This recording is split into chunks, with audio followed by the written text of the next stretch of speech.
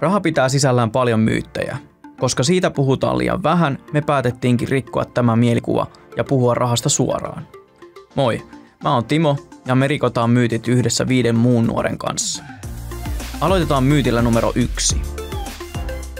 Mulla ei ole mitään hajua, mikä on pikavippi, joten Ei hätää Vilma, et varmastikaan ole ainut, joka tuntee näin.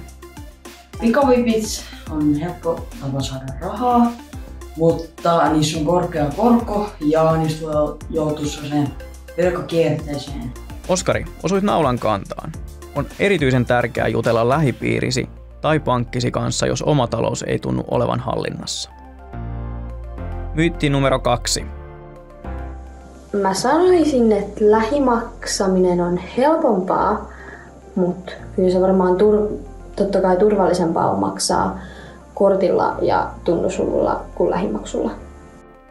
Itse asiassa lähimaksu lisää korttimaksamisen turvallisuutta, koska ilman tunnuslukua tehtävät maksut vähentävät mahdollisuuksia tunnusluvun urkintaan. Myytti numero kolme. kannattaa mieluummin sijoittaa joko tilille tai rahastoon, sillä säästöpossussa summa pysyy tismalleen samana. Öm, jos sä laitat sen säästötilille tai rahastoon, niin korko korolle ilmiön avulla se vaikka viiden vuoden päästä sen rahan arvo on jo paljon suurempi, joten miksi sä et haluaisi tehdä sun rahalla lisää rahaa? Ei vitsi, tuota mä alan itsekin käyttämään. Miksi et haluaisi tehdä rahalla lisää rahaa? Myytti numero neljä.